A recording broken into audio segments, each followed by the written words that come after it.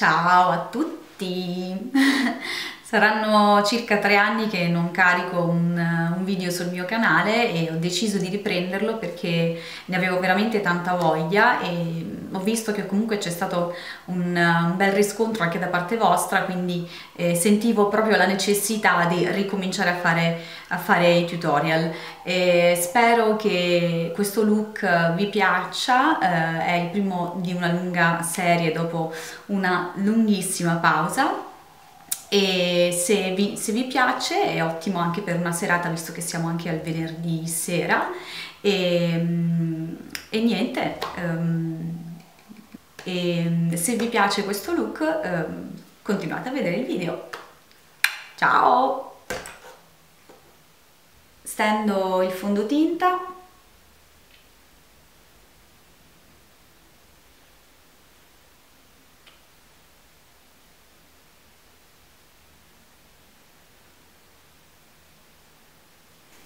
Userò il buffing brush di Real Technique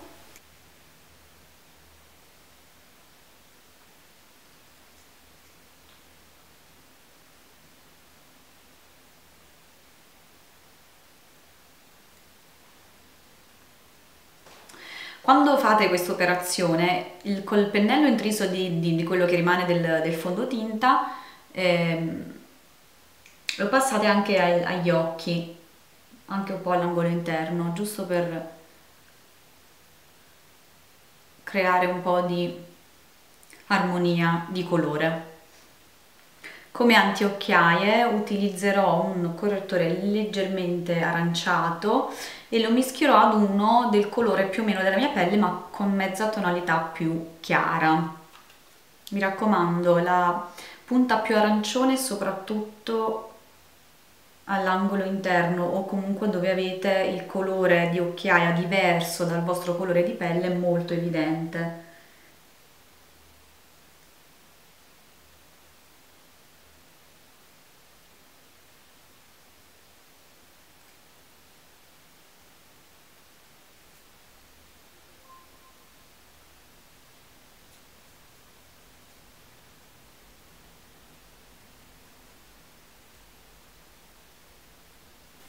Vado a sfumare con una spugnetta tipo blending brush leggermente umida.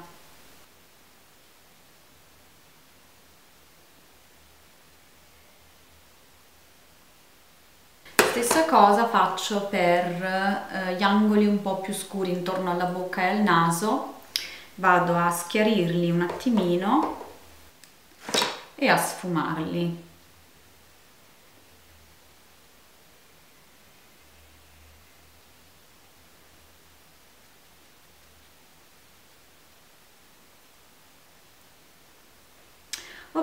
Ora che abbiamo provveduto alla correzione, passiamo anche al, al resto del contouring.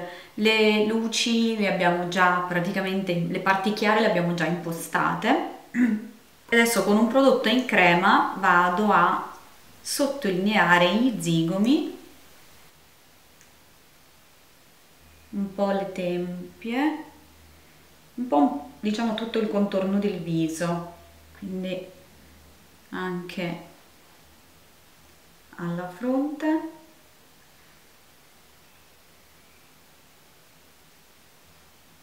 Nel mio caso avendo una fronte abbastanza alta la oscuro ehm, abbastanza ed evito invece il mento perché eh, non ho un viso molto lungo e, e fare un, un po' di ombra anche al mento me lo accorcerebbe ancora di più.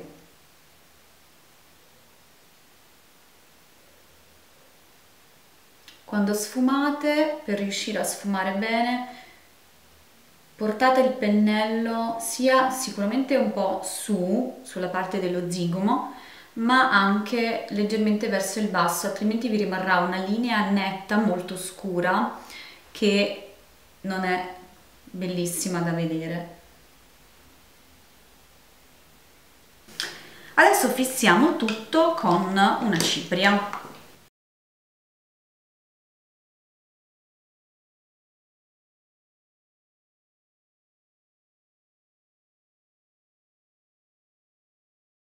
Allora, prima di passare al trucco occhi, ehm, definirò le mie povere sopracciglia.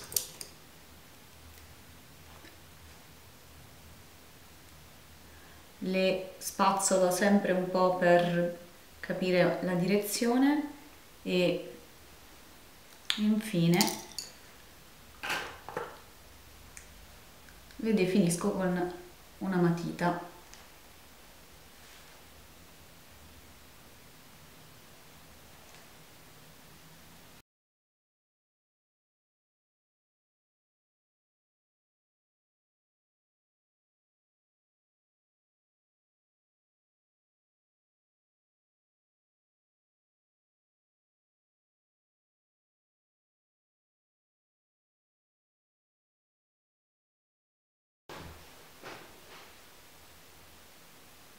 Io tendo sempre a lasciare naturale il primissimo pezzettino delle sopracciglia, e innanzitutto perché è la parte più folta del sopracciglio che ho e quindi ha già un colore che è naturalmente marcato.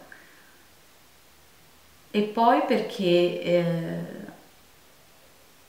in ogni caso è, dà sempre un effetto leggermente più naturale lasciare la prima parte del sopracciglio non, non colorata.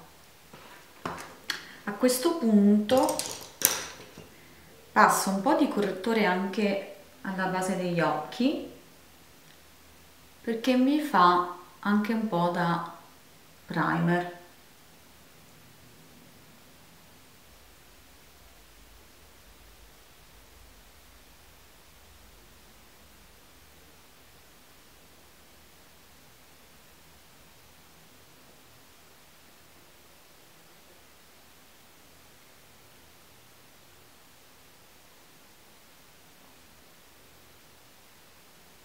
la vado a sfumare un po'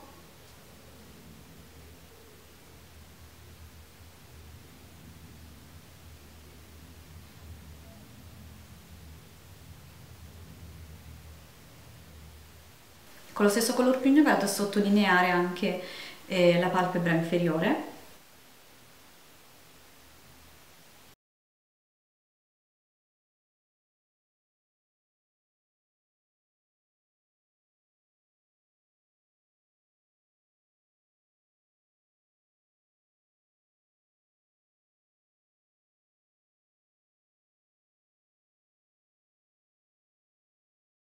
Completiamo un po' la parte dell'occhio con eh, una matita nera all'interno. Applicate poi la stessa matita nera eh, anche alla palpebra eh, interna eh, superiore dopo aver piegato però le ciglia. Mi raccomando a non fare mai questa operazione dopo aver applicato il mascara perché rischiereste veramente di perdere eh, le ciglia. Matita nera anche nella parte superiore.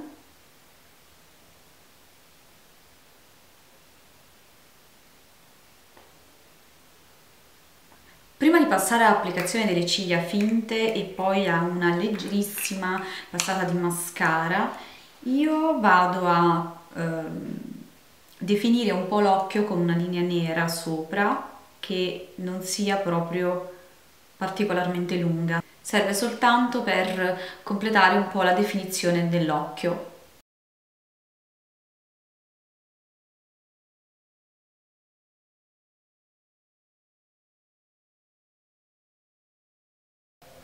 Se volete sfumate anche un po', io lo faccio con un cotton fioc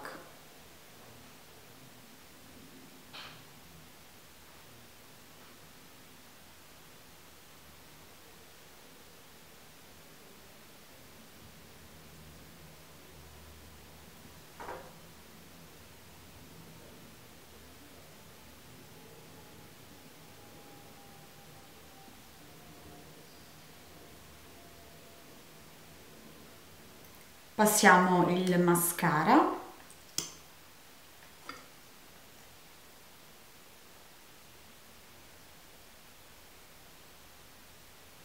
Alla palpebra superiore ne metto comunque poco soltanto per unire le mie ciglia bionde a quelle finte.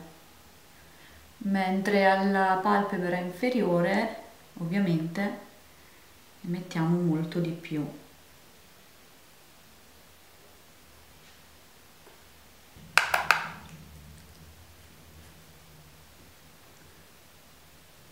intensificandole con un bronzer.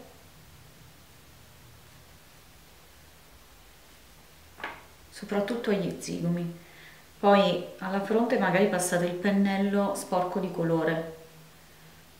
E anche infine un po' di colore, un po' di fard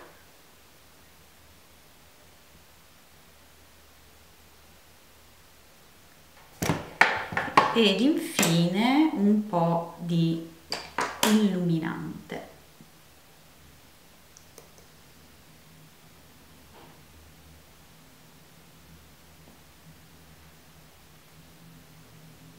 Lo passate anche un po' al naso e un po' al, al labbro superiore e un po' al mento. Infine riprendete il pennello del fard e fate questo movimento giusto per unire un po' tutti e tre i prodotti per evitare stacchi. Per finire le labbra le disegnerò scure, le farò di un color vinaccia eh, violaceo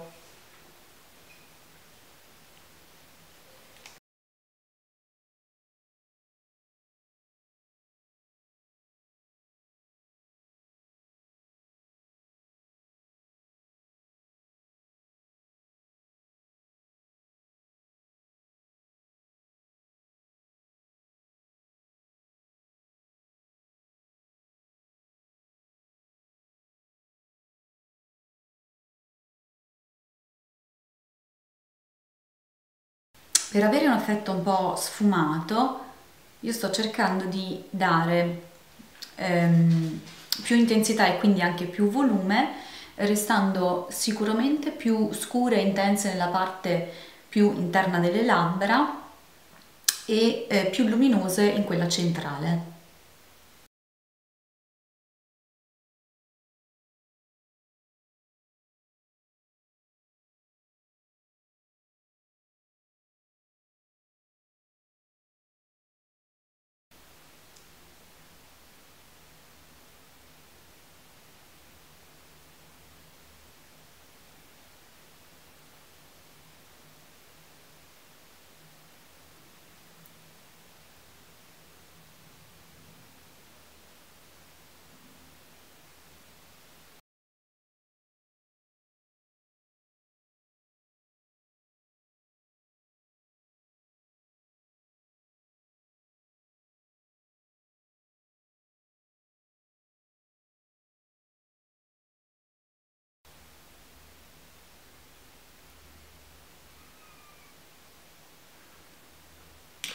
ok questo è il risultato finale.